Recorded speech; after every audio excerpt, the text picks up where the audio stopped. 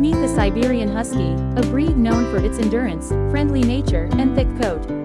These dogs were originally bred in Siberia as working dogs for the Chukchi people. Siberian Huskies are known for being great family pets and are especially good with children.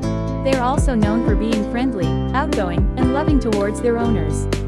Despite their strong and athletic build, Siberian Huskies are known for being calm and relaxed indoors and make great companion dogs. They are also known for being loyal and affectionate towards their owners. Siberian Huskies are known for their endurance and strength, and excel in sledding and skijoring competitions.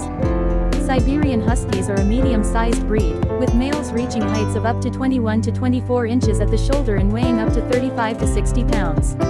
If you're looking for a friendly and outgoing companion, a Siberian Husky may be the perfect breed for you.